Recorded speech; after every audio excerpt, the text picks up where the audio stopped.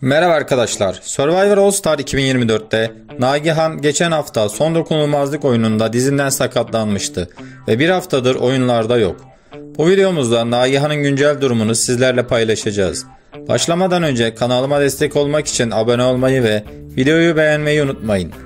Nagihan bildiğiniz üzere dizinden çok kötü bir sakatlık yaşamıştı.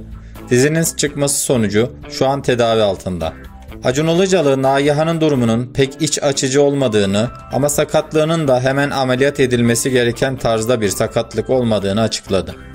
Acun Ilıcalı ilerleyen bölümlerde Nagihan'la yine birebir bir konsey yaparak yarışmaya devam edip etmeme kararını Nagihan'a bırakacaklarını söyledi.